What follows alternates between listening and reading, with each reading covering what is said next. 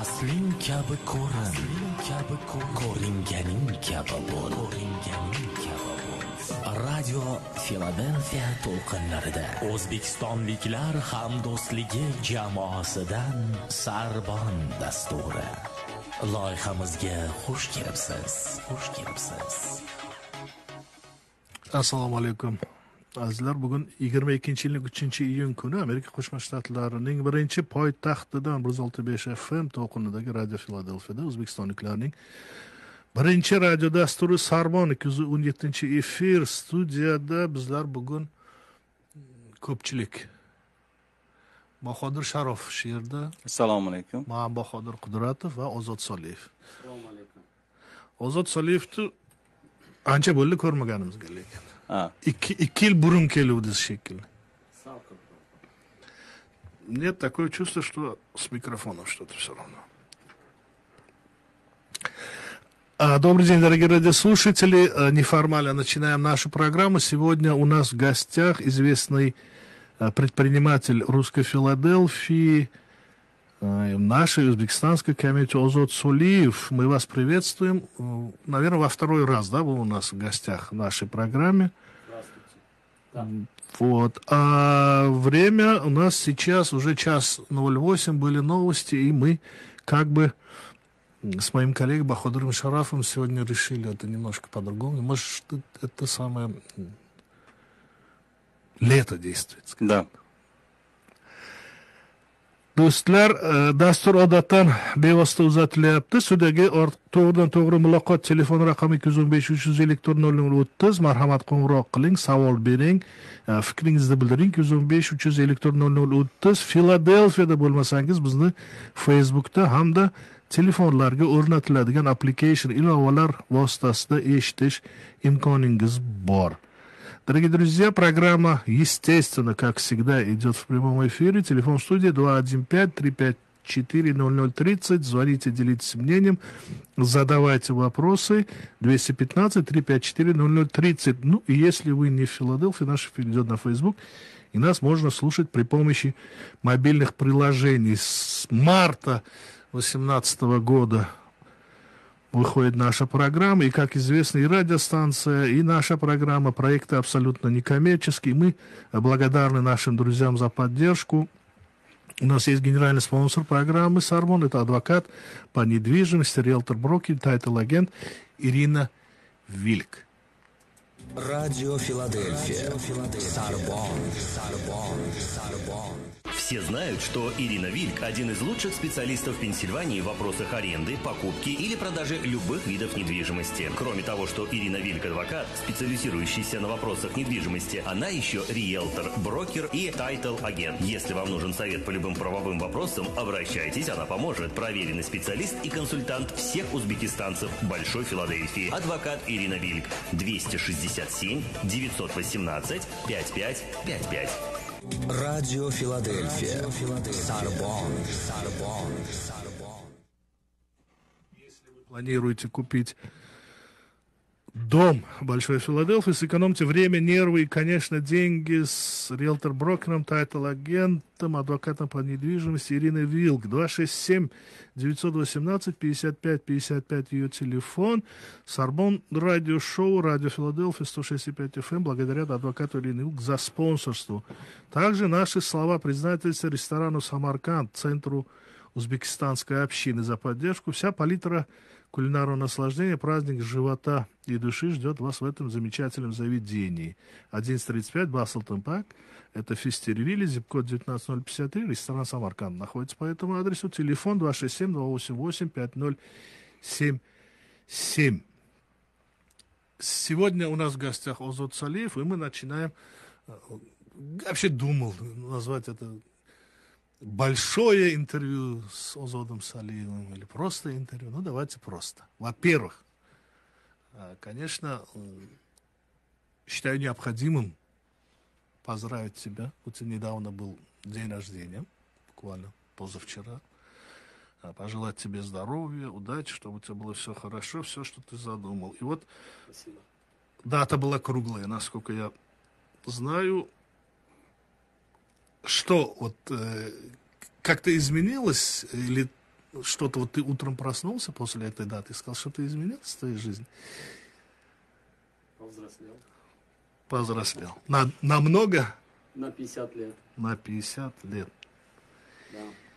А вот э, к эт- ну, дата круглая, на самом деле, наверное, как э, и все прочие люди, мы, наверное, начинаем, ну, скажем так, подводить какие-то итоги, может быть, да? Ну, Ты же знал, что вот в 22 году, 1 июня, тебе будет 50. Ты к этому как-то уже готовился, заранее уже начал размышлять.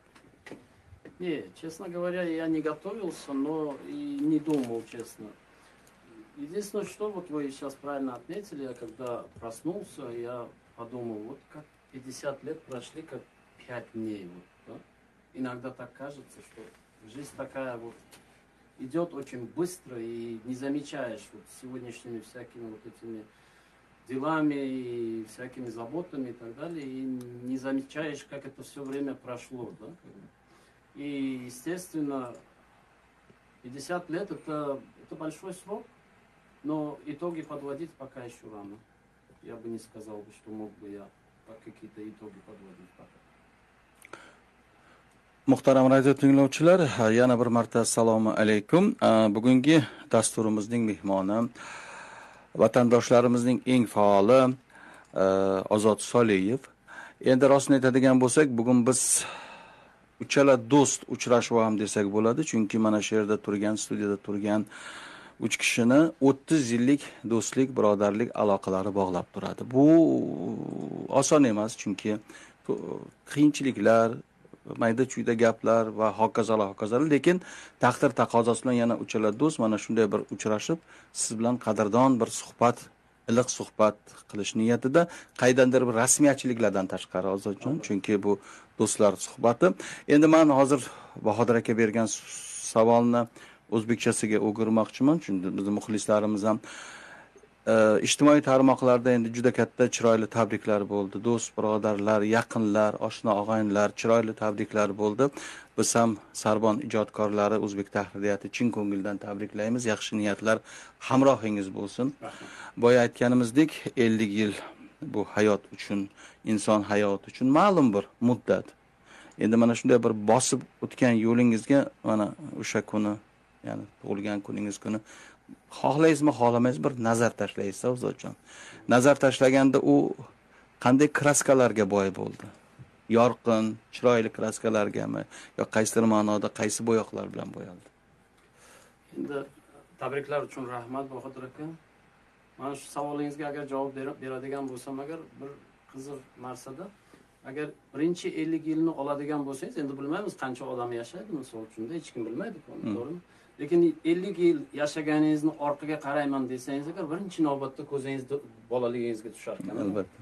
Birinchi navbatda shu bolalik paytlaringiz hech qanaqa g'am tashvish kallada hech qanaqa o'y xayol yo'q, bilasizmi?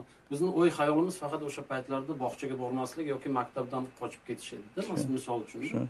Endi ko'pchilik shunaqa a, kichkinaligini endi shunaqa tasavvur qilsa kerak. E, yana bir e, qiziq narsasi t- yozda shu e, yozgi tahlil bo'lardi o'shanda Ta'til, mazza qilib yurardikda o'sha yerda. Mana shunaqa narsalarni eslasa agar odam qiziq bir nimaga tushadi.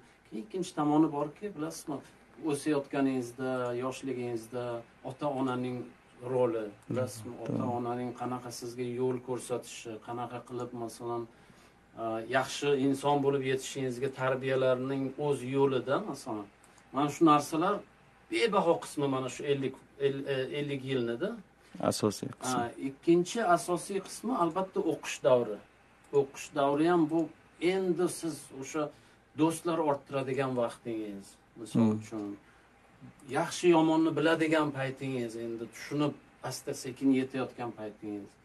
Uchinchidan o'sha masalan har bir yangi narsani o'rganganda qanaqadir taassurotlar bilan bo'lishi misol uchun keyinchalik asta sekin birinchi ish birinchi faoliyat birinchi anavi nima deydi hamkasblar bu ham bir qiziq bir Hmm, davrda. Davr to'g'ri asta sekin asta sekin hayot shunaqa bo'yningizga qo'yib qo'yadiki o'zingizni o'zingiz keyin albatta u oila qurasiz bolalar boshqasi bu- bular bular to'g'risida gaplashib o'tamiz xudo xohlasa nasib bo'lsa lekin mana shu agar ish yo'nalishini agar davom etsak agar bodir aka qanaqadir paytda sizga shu bir alohida bir joyni berishadida aytishadiki mana shunga san endi javobgarsan deb o'shanda javobgarlik boshlanar ekanda mas'uliyat mas'uliyat boshlanadi.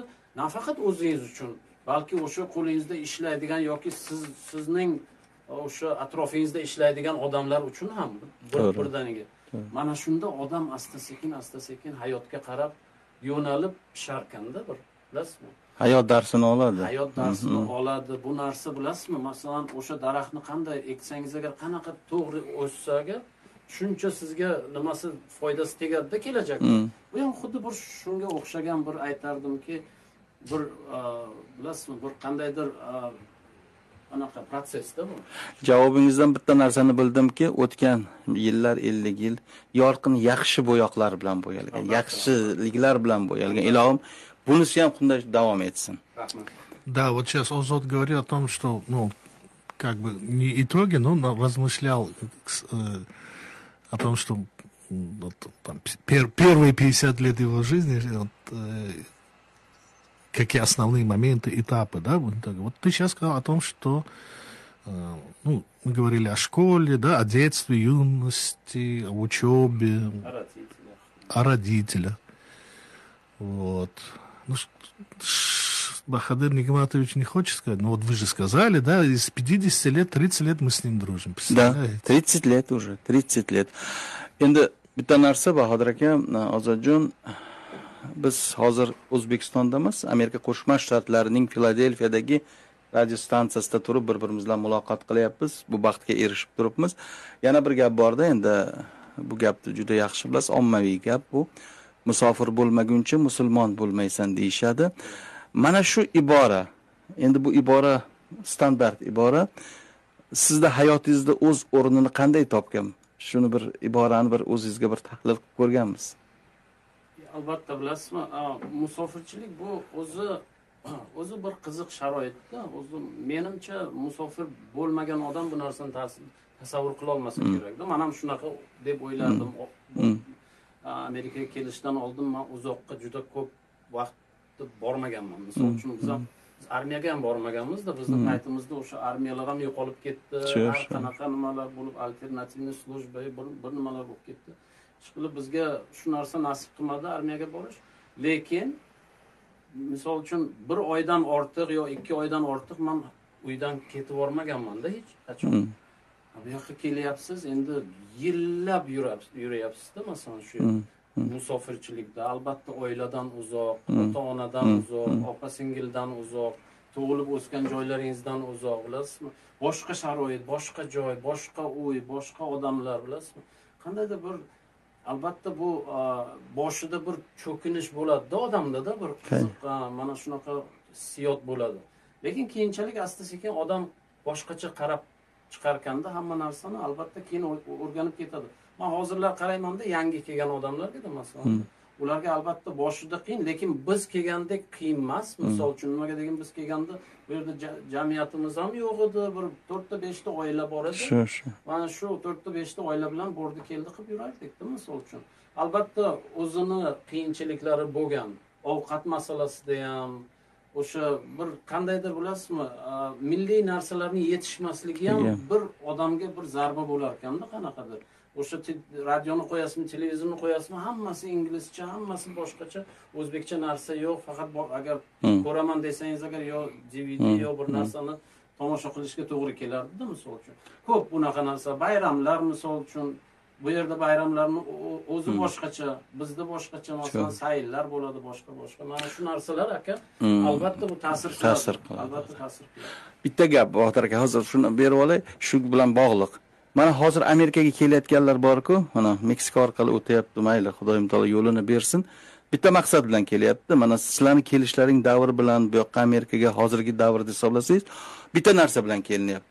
Hozir boraman bir haftada yigirma ming o'n besh ming dollar toparkanman trak haydayman va shu bilan bir zumda boyib ketaman degan tahlil va mana shu fikr bilan shunday amerikaga qadam qo'yishyaptida. Uni ichi nima qanaqa u qanaqa. E, manimcha sizlar bu orzu bu umid bilan manimcha o'sha paytlar kelinmagandir deymanda hozirgi farqni aytyapmanda men. To'g'ri bahodir aka endi ilgarigi kelgan odamlar bilan hozirgi kelgan odamlar bu masalan o'zbeklar yoki tojiklar yoki ruslar yoki ozarbayjonlar deb o'tirmaymiz. Qaysi bir davlatdan keladigan odam bo'lsa nima uchun keladi amerikaga hayotini yaxshilash. Yaxshilash. To'g'rimi? Nimaga deganda amerikada shu bir qandaydir standart endi bo'lib qolgan hozircha misol uchun juda hayot tarzi yaxshi. Hamma tomonlamada o'qish ham misol uchun birinchi hmm. joyda ko'p narsa bo'yicha amerika davlati birinchi joydada odamni qadriyati bo'yicha ham juda balandda turadida misol uchun. O'shaning uchun shu kelayotgan odamlar o'zini emas balkim o'sha avlodini o'zini oilasini bolalarini o'ylab kelyaptida keyinchalik shularni maktablarga beraylik shular o'sha yaxshi yaxshi institutlarni tugatib bir yaxshi odamlar bo'lsin. Biz mayli o'sha masalan trak bo'ladimi yoki boshqa bo'ladimi restoran bo'ladimi magazin bo'ladimi biz ishimizni qilamizda o'sha hmm. oilamizni salgina boshqacha hayotga itarib salgina chiqarish uchun fikrim мы, когда говорим об иммиграции из Узбекистана, да, давайте про ну, Узбекистан да. будем говорить. Ну, при всем при том, э, население центральной части Узбекистана, да, в основном, если мы сейчас говорим о Самарканде, Ташкенте, да, это вот э, земледельцы, люди оседлые, да. И вот так получилось, что, наверное, вот с середины, наверное, да, 90-х стали люди уезжать ну, кто-то уезжал, я не говорю сейчас о там, тех, кто уезжал на историческую родину, да, будем так говорить. У нас там очень было много э, евреев у нас э, жили, да, у нас были, они уехали, кто в Израиль, кто в Америку. Очень была э, достаточно большая диаспора крымских татар, они уехали. А вот местное население, будем так говорить, титульная нация, почему стала уезжать? Кроме того, что вы сейчас сказали, для того, ну, например, в Америку приезжать для того, чтобы ну, забота о будущих своих детей. Вот какой момент этот перелом? В связи с чем он произошел? Как вы думаете? Я думаю, что всему по-любому стала а, причиной распад, стал причиной распад Советского Союза. Потому что во, время, во времена Советского Союза я не думаю, что кто-то мог себе представить поехать куда-то на заработки. Так как мы стали независимыми, все эти страны, да, скажем, ну давайте мы говорим, будем говорить про Узбекистан. Узбекистан стал, а, стал независимой республикой, да, в 91 году, правильно? Вот. А, и, естественно, все границы начали открываться для людей, чтобы они могли поехать куда-то, посмотреть чего-то и приехать обратно. Само собой, это, я думаю, что все это естественно, как и во всех других странах. То есть демократия, свобода, как бы, кому где хочется, там и будет жить, правильно? Вот. И да, это как бы, чтобы поднять жизненный уровень, плюс к этому еще и заработать и еще улучшить свое материальное как бы состояние. Я думаю, что так. Вот э, даже вот с этой точки зрения, вот, всегда меня беспокоит один вопрос. Ну, в 91 году Советский Союз распался, да, вот если мы вспомним времена Горбачева, скажем, да, там ну, было однозначно, да, было понятно, что, например, условно говоря, в тех же Соединенных Штатах или на Западе жизнь лучше, да, вот имеется в виду жизнь обы- обычного человека, труженика. Вот. И вроде бы вот э, все это поняли, Союз распался, стали э, там независимые государства. Вот. Ну, по прошествии, ну, на самом деле, для истории это же совсем маленький срок, да, вот 30 лет. Вот. За это время появились вот интернет, давайте уже не будем ни о чем, вот интернет, да. То есть информации никакого уже на самом деле практически заслона информации нету, да. Люди получают информацию, обмениваются информацией. А чувство того, что вот э, жизнь, современная жизнь на большей части, да, на самом деле, если территориально, вот большей части нашей, нашей планеты осталась такая же, как вот, я не знаю, как при Брежневе, что ли, примерно так. Почему такое происходит? Вы имеете в виду бывший Пусть будет бывший СССР, да, я не знаю, азиатские страны там какие-то, понимаете? Вроде бы все... То есть я имею в виду, э, э, еще со времен Черчилля, да, мы знаем, что демократия очень плохая вещь, но еще лучше, чем демократия, еще ничего не придумали, да, вот тоже права человека, там, экономические свободы и прочее, прочее. Вот где вот это, вот, э, я не знаю, где-то ключ к решению вот этой проблемы, что ли? Как вы думаете, вот, э, есть ли ключ такой? Я думаю, что здесь не столько ключ играет роль, а местные, местные вот условия, знаете. Местные условия. Вот, например, а, менталитет людей, менталитет государства, да, предположим, менталитет а, тех людей, кто принимает решения в этих направлениях. Естественно, они где-то в каких-то моментах осторожничают, где-то, естественно, они на тесты какие-то ставят эти процессы, понимаете? Интернет, вот вы напомнили, э, интернет очень э, интересная вещь. Интернет вот э, в 21 веке интернет поменял все, все в человеч, как бы в мире, да, как бы скажем. А, но опять же, интернет он есть позитивный, интернет есть негативный, да. правильно? Интернет позитивный, мы знаем, что мы можем получить любую информацию, любое время. Ну, очень много, масса всех э, плюсов. А, плю, к, к этим плюсам еще есть и минусы напротив них. Да. Потому что э, мы должны думать о, в первую очередь о безопасности наших детей. В первую очередь. Во вторую очередь, естественно, о безопасности, опять же, государственности и всего-всего, потому что вся техника работает на интернете. Как бы вот эти мы слышим, эти атаки и так далее, кибер, кибератаки и так далее. Это все опасность для человечества. Она может где-то в каком-то этапе, может она просто дать какие-то проблемы, сбои, правильно? Вот. И, естественно, мы должны вот это все...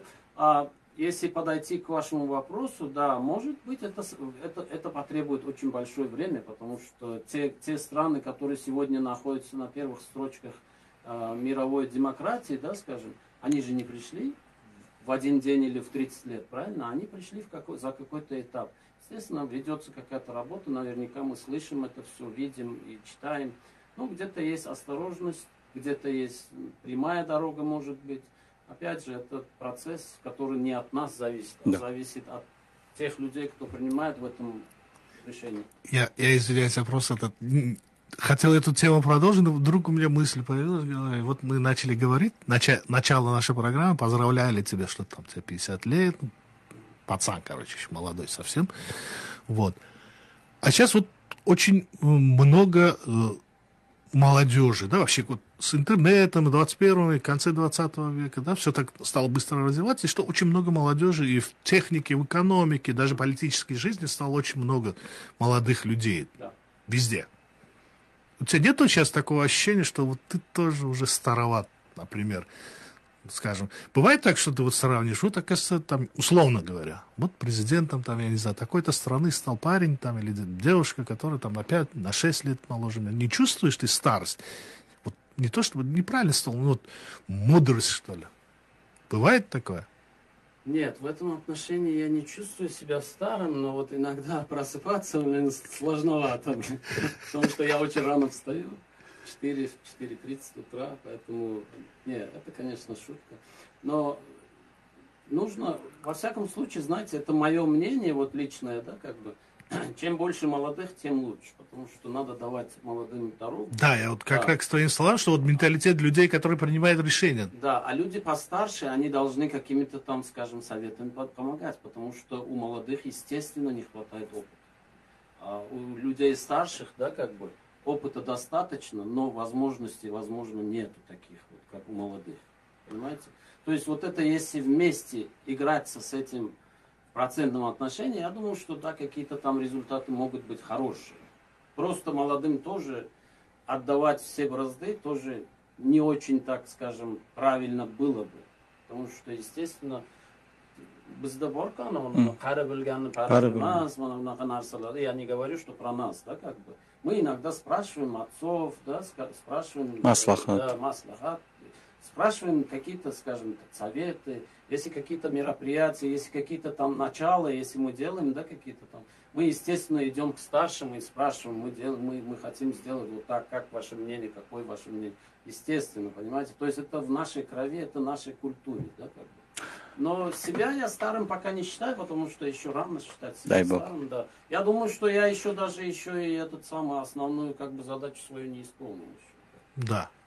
Давайте мы об этом тоже. muhtaram radio tinglovchilar mana eslatib o'taman. Bugungi э, sarbon dasturining mehmoni faol vatandoshlarimizdan biri ozod soliyev bo'lyaptilar. Ozodjon endi bevosita bugun siz bilan muloqot bo'lyapti. Sizni ko'proq hayotingizda man ko'proq kirib man hayotingizni bosib o'tgan yo'llarni bilaman. Tomoshabinlar e, tinglovchilarimiz ham bundan xabardor bo'lsin deyapman.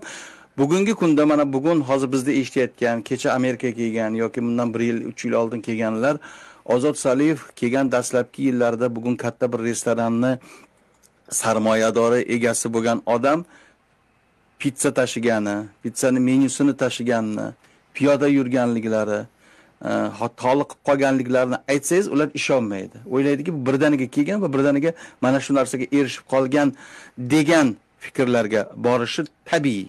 Shu nuqtai nazardan man aytmoqchiman. Bu aslida shunday bo'lgan. Buni biz bilamiz lekin buni ham yana bir marta takrorlab o'tsak foydadan xoli bo'lmaydi. Ikkinchi shu buni savolni davomi kimlardadir fikr borki shu ozod soliyevga kimdir katta bir birdaniga sarmoya bergan va shu sarmoya asosida katta bir restoran paydo bo'lgan va katta pizzalar paydo bo'lgan. Bu qanchalik haqiqatga to'g'ri? Mana shular xususida ham ikki og'iz bir to'xtalib o'tsak. Bilasizmi mana shu siz juda bir nima deydi sirpanchiq yo'lga o'tyapsiz. Sirpanchiq emas bu oddiy. Bahodir akani o'zlarini planlari shunday bo'lsa kerak. Bahodir aka mana shu hozir aytganingiz bo'yicha man bitta misol keltirmoqchiman. Man bir yigi- yigit bilan uchrashib qoldimda yaqinda. Hmm, kelganiga bir uch oy bo'lganda hmm, shekilli. hmm, endi a, manga aytyaptiki man juda qiynalib ketdim dedida. Man juda azob chekdim dedi. Man aytdim qanaqa azob Hmm. chekding e deydi ish yo'q deydi uyda Hmm. o'tiraman Hmm. deydi. Man aytdim "E, uying bormi? dedim. Ha uy bor dedi. Qanaqa uy Ma- ma- maydami kattami yo'q ikki xonalik uyda ikki kishi turamiz dedi. "E, yaxshi. Aytdim nechinchi etajda ikkinchi etajda yaxshi. Ha- hamma narsasi bormi? Sovuq issiq hamma suv ovqatlaring bormi? Ha hammasi bor. Man aytdim san bilasanmi dedim. Qancha odamlar? dedim. Amerikaga kiraman deb amerikaga Hmm. kelaman deb dedim orzu qilib qaysi yo'llardan kelishyapti dedim Hmm. qiynalib dedim azob chekib dedim. San nechiga kirding dedim man yigirmaga kirdim dedi. Mana qara dedim yigirma yoshing hali hali dedim besh beshinchi qismida masalan Hmm. bitta umrni agar yuz yuz yil desak misol uchun. Aytdim san hali hech nimani ko'rganing yo'q dedim. Hali san azob nimaligini bilmaysan dedim. Qanaqasiga san aytishing mumkinki? dedim. To'g'ri. Azob chekyapman deb. Bu azob emas sani ustingda agar e, o'sha tom bo'lsa dedim e, o'tirgan joying dedim quruq bo'lsa dedim hamma narsang bo'lsa dedim. Mayli endi ish bir kun bo'lmaydi bir kun ikki kun bo'lmaydi keyinchalik ish bo'ladi to'g'ri bo'ladi. Ota onang masalan boshqasi hammasi tirik sog' Hmm. salomat dedim. Dedim nola qilish o'rniga dedim ollohdan so'ragin dedim o'sha ishingni ham to'g'irlab beradi sani dedim shuncha odamni ichidan tanlab shu amerikaga jo'natibdi sog' salomat Hmm. dedim shunisiga shukur qilib endi yangi hayotni boshlash kerak To'g'ri. xuddi shunaqa bodir aka biz ham kelganda bir qandaydir xayol bilan kelganmizda bir besh olti yo besh olti oy ishlaymiz yo bir yil ishlaymizda salgina dastmoya qilib ketamiz Ketamiz. debdi lekin keyinchalik o'ylab qarasam agar yo'q bu yerda hayot boshqachada bilasizmi? Hayot boshqacha albatta solishtirasizda. Misol uchun o'zbekiston bilan boshqa davlatlar bilan. Keyin o'ylaysizki mana shu yerga bolalarimni olib kelsam agar zo'r bo'lar ekan mana shular bir katta odamlar bo'lar ekan agar hamma shansi borda mas- masalanda hamma mana shu mehnat qilsang albatta nimadir erishasan. Albatta man kelganimda boyagi savolingizga javob beraman. Hmm. man hech qanaqa sarmoya bilan kelganim yo'q. Nima Hmm. uchun deganda birinchidan man turist bo'lib kelganman aslida. Hmm. o'shaning uchun endi qanaqa sarmoya bo'lishi mumkin qo'limda qo'limda to'rt yuz dollar bo'lgan. Bolalar mani mani kutib olgan jo'ralarim kulgandi mani ustimdan o'sha paytdagi to'rt yuz dollar bilan odam keladimi amerikaga endi man bilmayman qanaqa mani nimalar kut- kutayotganini. O'shaning uchun misol uchun keyinchalik asta sekin ish- ishga joylashdik o'sha ishlarni qildik. Qanaqa ish bo'lsa manga farqi yo'q edi. Faqat dedim man kechasi ishlamayman dedim. Nimaga deganda odam kechasi olloh hamma narsani juft qilib yaratgan xuddi shunaqa kechayu kunduzni ham yaratib qo'yibdida kechasi uxla- uxlash kerak dam olish kerak. Nima uchun deganda organizmingizdagi hamma gormonlar boshqa boshqa kerakli narsalar kechasi o'sha uxl- uxlagan paytda ishlab chiqar- chiqariladi siz uni uxlamasdan yurasizda kunduzi keyin uxlamaysiz. Kunduzi unisi keladi bunisi keladi. U yoqqa borasiz bu yoqqa borasiz. Yana kechqurun bo'ladi yana ishga borish kerak. O'shaning uchun man aytdim yo'q man kechqurun kech- kechqurun ishlamayman ishlamayman deb faqat kunduzi ishlayman deb o'shanda shu ishni tanlagandim bilasizmi? Qanaqa maroqli ish bo'lgandi manda o'sha uyma uy bahodir aka mana shunaqa har xil reklama deydiku shularni tarqatardik. Lekin odam bilasizmi kuni bo'yi toza havoda birinchidan. Hmm. man rohatlanardim bu yerdagi ko'katlarni ko'rib daraxtlarni ko'rib odamlarni uylarini ko'rib hayot tarzini ko'rib man juda xursand bo'lib ketardimu shunaqa bir niyat qilardimki o'zbekistonliklar ham kelsa mana shu yerda ko'pchilik bo'laylikda mana shunaqa yashash boshlansin. Mana xudoga shukur allohga ming qatla shukurki mana bugungi kunda shu narsani ko'rishimiz mumkin. Hozirgi o'zbekistonliklar ancha oldinga o'tib ketgan ko'pchilik boshqa masalan millatlardanda bu juda quvonarli narsa. Boyagi restoran ham pitssaxonalarni tashkil etilishi ham shu mehnat orqasidan o'zingizni yiqqan mablag'lar asosida paydo bo'lgan loyihalar bular emas endi bilasizmi amerikada mehnat qilsangiz agar hamma narsaga erishasiz mehnat qilish kerak halol bo'lishi kerak o'sha bir niyat bo'lishi kerak odamda o'sha niyatga qarab borsangiz agar albatta erishasiz muhtaram radio tinglovchilar agar savollaringiz bo'ladigan bo'lsa yo'lda bo'lsangiz bizga telefon orqali bog'lanishingiz mumkin ikki yuz o'n besh uch yuz ellik to'rt ikkita nol o'ttiz mana shu telefonlar orqali muloqotda bo'lish imkoniyatiga egasiz marhamat bodir aka. Земляков стало больше.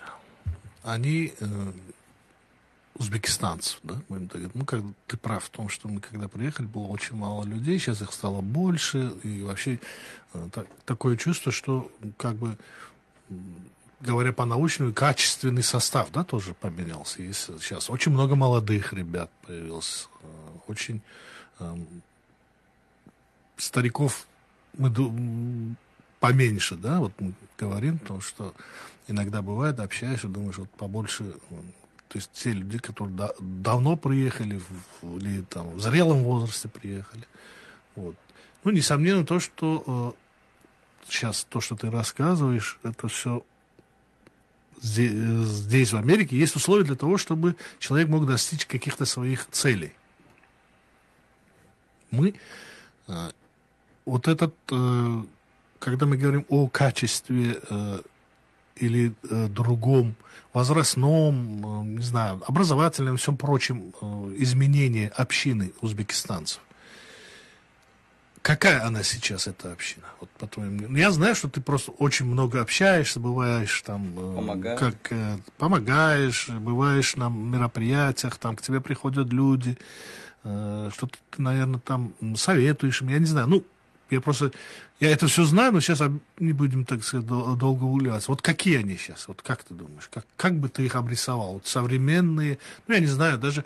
Вообще, когда, их, э, когда наших земляков стало больше приезжать? Вот э, пять лет назад или сейчас их больше стало? Вот э, когда этот наплыв появился? Ну, я, я одним словом мог бы сказать, что момент становления все еще как бы продолжается. Мгм. То есть а, комьюнити все еще растет. Оно еще не этот самый не остановилось нигде. Оно растет как бы. Именно вот в Филадельфии, если. Да, да, да, мы Я- говорим о я- Филадельфии, Я, да, да. я не говорю про другие штаты и другие э, города. Вот. А, а вот наступление основное, да, которое вот э, состоялось, я думаю, что при COVID и в этом а, в момент коронавируса очень многие приехали с Нью-Йорка, с других штатов. Мгм. Вот. И а, вот этот бум по продаже домов и так Да. далее и тому подобное. Вот это все вместе как бы, да, связано. Сейчас очень много людей, я, конечно, не всех знаю. Я раньше как бы гордился тем, что я всех знал.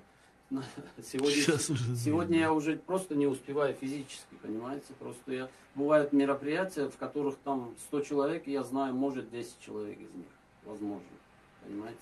Может быть, они меня знают, я их не знаю, возможно, вот так. Ну, я визуально многих знаю, но по именам могу не знать просто.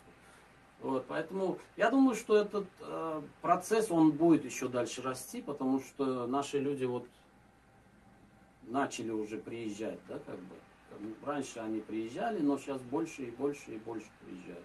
Разными, разными путями причем, я не знаю.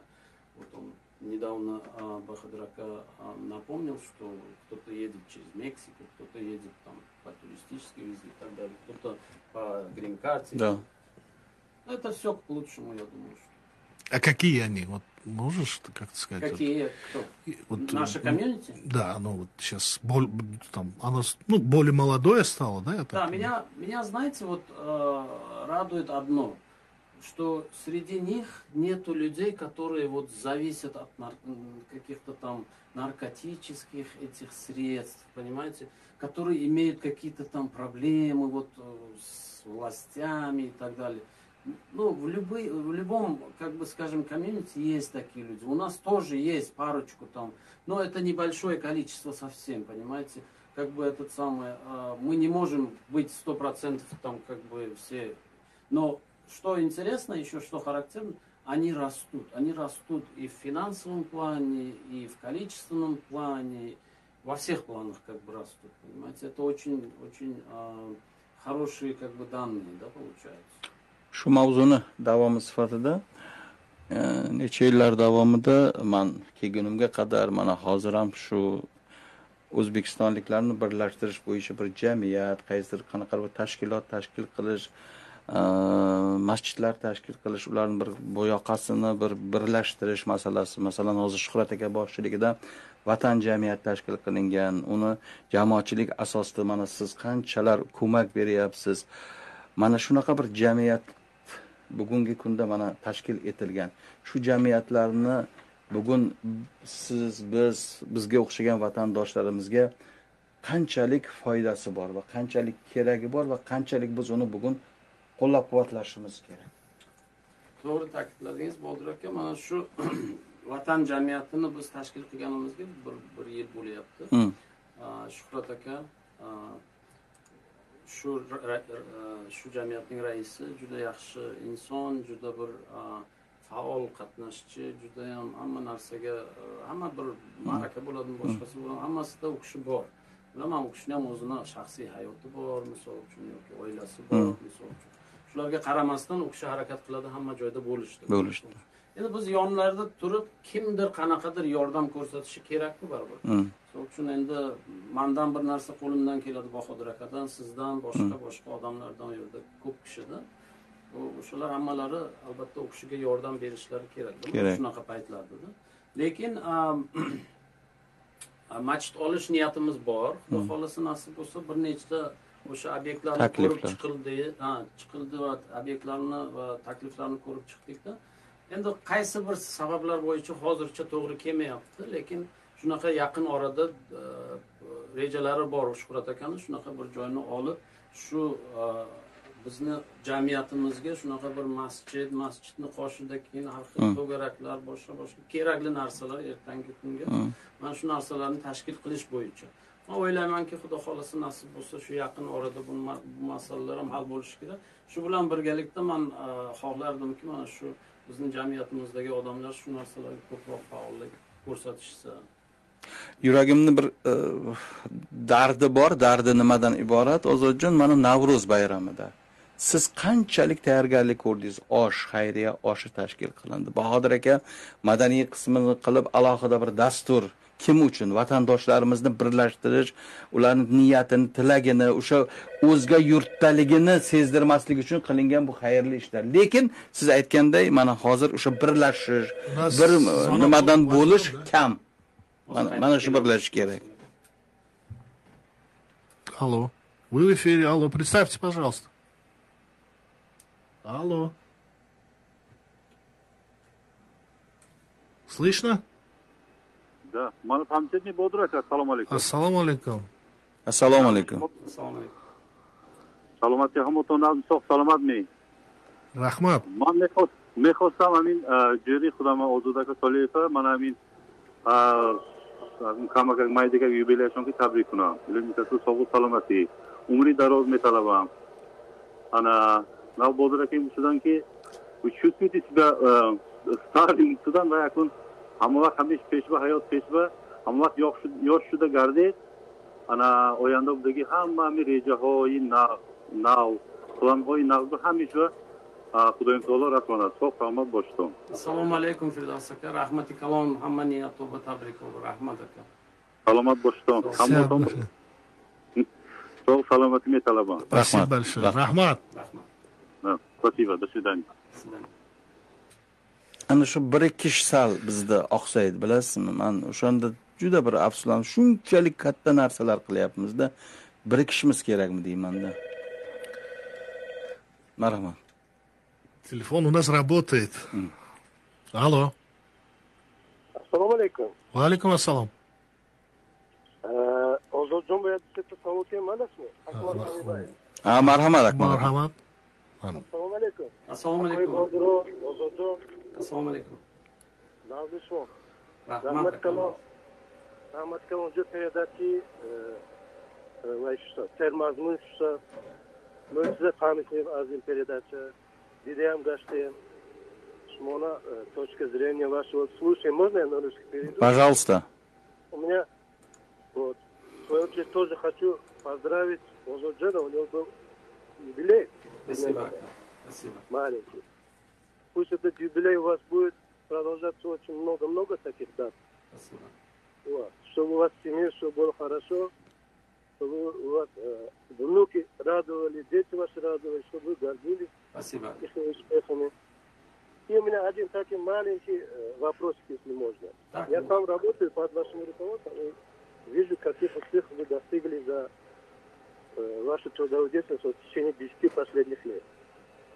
Самостоятельно здесь организовали несколько бизнесов, ресторан начал.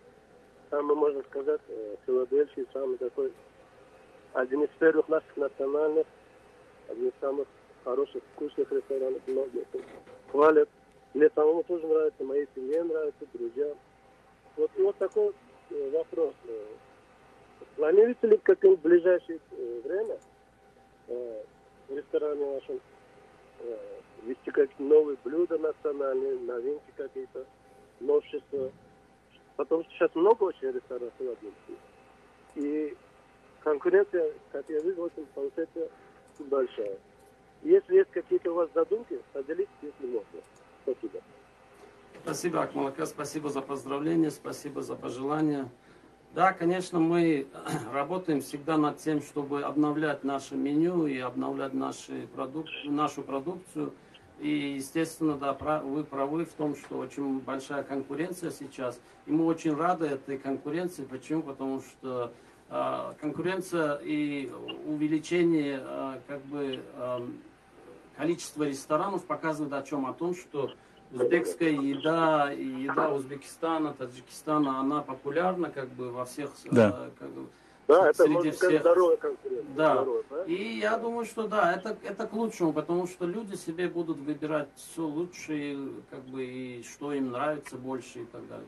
А мы должны, естественно, стараться, чтобы сделать нашу продукцию и наш сервис лучше, и чтобы она была действительно конкурентоспособной.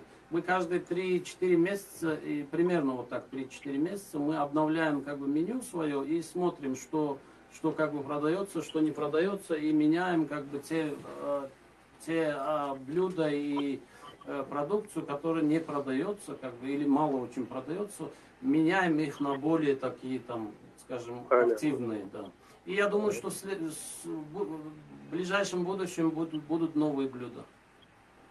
aka salomat bo'ling Спасибо за ваш вопрос. Спасибо. Спасибо. Да, я рад, что у нас со, со связью вроде бы все слышно, все это работает. Шараф каждый раз со мной ругается, что там не работает, тут не да работает. texnik jihatdan С- Фарида Шарапова вспоминаю. yaxshi endi Savolga javob berish kerak. ha boyagi fikr to'g'ri biz o'sha endi man o'ylaymanki bilasizmi o'sha navro'z paytida odamlarni kelmaganini sababi endi biz bahodir aka bilan bir nechta navro'zlar o'tkazdik. Bir bir paytda uch ming uch mingtagacha odam kelishdi nima o'sha kun ham misol uchun bepul osh tarqatildi. Hmm. bepul osh albatta tarqatildi odamlar kelib olib ketishdi lekin birinchidan havo juda sovuq edi. Ikkinchidan ikkinchidan mana shu baribir o'sha e, koronavirus mana shunaqa nima pandemiya masalalari hali turuvdida bilasiz bugungi masalan kunda qilganda menimcha boshqacha bir nima bo'lardi a, boshqacha ahvol bo'lardi deyman menimchada. To'g'rimi bahodir aka? Shunday. o'shaning uchun Shunday. bun- bunga katta misol uchun biz e, nima deydi anavi e'tibor berganimiz yo'q nimaga bunaqa bo'ldi deb. Lekin to'g'ri gapingiz ahillik To'g'ri. birlashuv salgina albatta Oqsayapti. oqsayapti ha, albatta. Bu narsa endi albatta mana shu Shu- shuhrat aka hozir ish olib boryaptilar. Menimcha sekin asta sekin yo'lga tushib ketadi xudo xohlasa. Man bitta narsani aytmoqchi edim bizani e, sahifamiz orqali facebookda ko'rayotgan insonlar e, bu radio filadelfiya bir yuz olti besh fmdagi ularga aytyapman bizlar qo'shma shtatlardamiz. Pensilvaniya shtatidan bu eshittirishni sizlar ko'ryapsizlar eshityapsizlar. Bu amerika bu filadelfiya bizda oqshom emas. Bizda hozir soat birdan ellik ikki minut o'tdi. Demak sakkizta kam ikki kunduz juma. Sizlarda oqshom bilaman hozir o'zbekistonda o'ndan ha o'n bir bo'lyapti bu yerda o'z- e, katta o'zbekistondan kelgan e, jamoa bor. Mana xudoga shukur o'zimizni bir necha yillardan beri mana dasturimiz bor. Biz bugungi dasturimiz mehmoni ozod soliyev. Bu kishi mana shu o'zbekistonliklar e, jamiyatining faollaridan biri. E, shunga e, hozirgi jamiyat jamiyat jamoadagi hayot o'zgarishlar kuzatuvlar haqida bir suhbat qilyapmiz. Shu nuqtai nazardan. Ancha yaqin bo'lib qoldi. O'zbekiston bilan e, amerikani o'rtasi e, endi hozir bilishimcha uchta reys o'zimizda o'sha milliy aviakompaniya uchta bo'lgan ha. haftasiga uchta reys uchyapti. Bundan tashqari e, boshqa endi bilishimcha vatandoshlar turkiya orqali turkish airlines bilan ham borishyapti borib kelishyapti. Juda oson bo'ldi nisbatan oson bo'ldi. Mana shu e, borib kelishlar yaxshi e, nima deydi ko'proq bo'lganimi osonroq bo'lgani e, bizni jamoamizga ham ta'siri o'tyaptimikan man aytmoqchi bo'ldim endi yangiliklarni telegramdan yoki internetdan deylik bilib olardikku. Lekin hozir mana shunaqa bir xuddi bir shu chegara o'rtadagi atlantika ham yo'q deydi. O'sha darrov kayfiyatlar bu yoqqa keladi e, o'sha endi qanday e, o'zbek tilida qanday buni nima qilishni tushun- tushuntira olmayapman. Trend deymizku masalan bugun deylik toshkentdagi to'yda mana bunaqa ko'ylaklar e, liboslar bo'lgan bo'lsa qarabsizki bir haftadan keyin amerikada ham shu narsa bu yaxshimi yomonmi endi shu savolga javob berishdan oldin salgina orqaroqqa anavi nima deydi tarixga qara- qarasak agar biz kelgan paytlarda ikki ming uch ikki ming to'rt ikki ming besh beshinchi yillarda mana shu yana o'sha internet masalasi- masalasiga qaytib qaytib kelsak agar o'sha paytda internet endi endi endi endi rivojlanayotgan edi telefonlardada misol uchun Mhm. bunaqa qarab gapirishish bunaqa bir birimizni ko'rish unaqa gaplar yo'q edi biz o'sha paytlarda qanaqadir bir kartochkalar bo'lardi Mhm. Kartochkani ikki dollarlik besh dollarligi bo'ladi o'n dollarlik bo'ladi. Olar- o'shani olardikda ikki dollarni to puli tuga- tugaguncha gapirishimiz mumkin. Nima uchun ikkinchi marta telefon qilsangiz agar o'sha minutingizni urib tashlardi boshqa boshqa boshqa muammolari bor edi. Lekin mana bugungi kunda xudoga shukur mana qarang qaysi bir nimani o'sha application deydimi? Applicationni olsangiz agar ilovani olsangiz agar hammasida bir birimizni ko'rib bemalol gaplashamiz xuddi bir masalan mani man otam bilan misol uchun har kuni ikki marta gaplashaman uch marta gaplashaman ba'zi paytda misol uchunda. Bir ko'rib o'tiramiz mana shu or- or- oradagi o'sha masofa yo'qda boqadir aka yo'q o'sha narsa bilasizmi? Qana- qanday bu yaxshi sharoitda hozirgida nimaga deganda odamlar borki misol uchun bu yoqqa kela olmaydi yoki bu bu yoqdagilar u yoqqa borolmaydi misol uchun har xil sabablarga ko'ra kasal yoki boshqa o'shalar ham masalan ba'zi paytlarda qaraysiz to'ylarni anavi translyatsiya qilishadida youtube orqali misol uchun bormagan odam misol uchun uyda o'tirib to'yga qatnashadida misol uchun bu yoqdan turib gaplashadi tabriklaydi o'sha e, nima xotin olayotgan yoki turmushga chiqarayotgan farzandimi boshqasimi qarindoshimi shunaqa. Bu narsalar hammasi albatta bugungi kun. Man o'ylaymanki bilasizmi qaysidir qaysidir paytda yaqin orada agar texnikani shunaqa rivojlanyapti desak agar biz misol uchun aytish qiyin o'sha yangidan yangi o'sha samolyotlar chiqib ikki soat uch soatda ham borish mumkin bo'lib qoladi balkimda balkim albatta lekin bular hammasi yaxshilikka. Mana shu aytyapsizku kecha toshkentda kiyilgan ko'ylak bugun masalan bir haftadan keyin filadelfiya yoki amerikada moda bo'lib ketadi misol uchun. Yoki man uy qurilishlarini man qarayapman samarqandda. Xuddi mana shu yerdagi ba'zi uylarni shunday modelini oladi o'sha yoqqa olib borib qo'yib qo'yganda misol uchun. Bu albatta bilasizmi qandaydir avvalgi paytlarda o'sha mana oyim e, o'qituvchi bo'lganlar har zamon borib anavi e, nima deydi?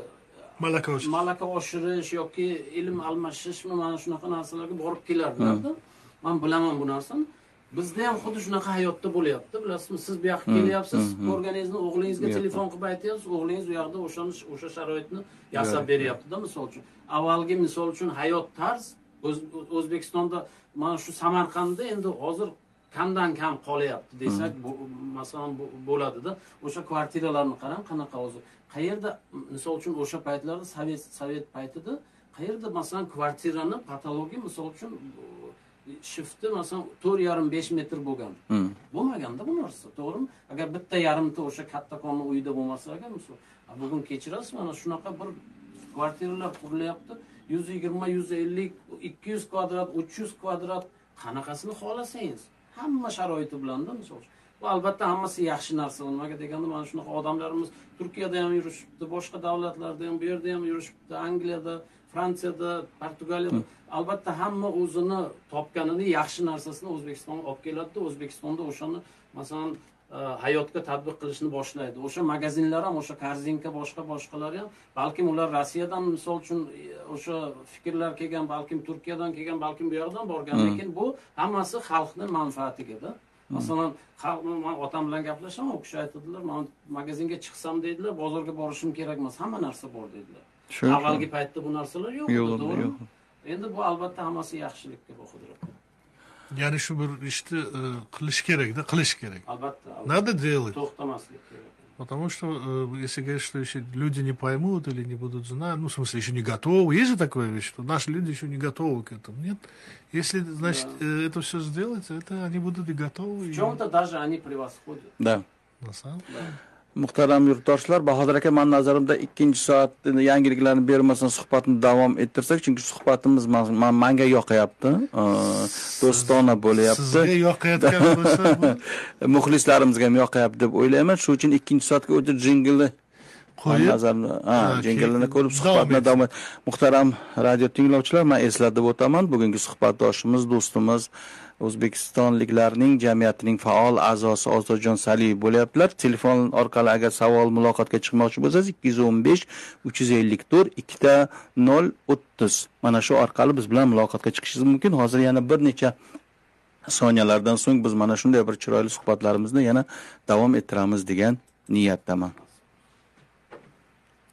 Albatta siz nima desangiz Shu. daho daho emas lekin oddiy bir e, bugun radio tinglovchi va radio boshlovchi sifatida Warminster, 106.5 FM, Radio Philadelphia. В эфире радио Филадельфия 106 и 5 FM. Филадельфии два часа дня.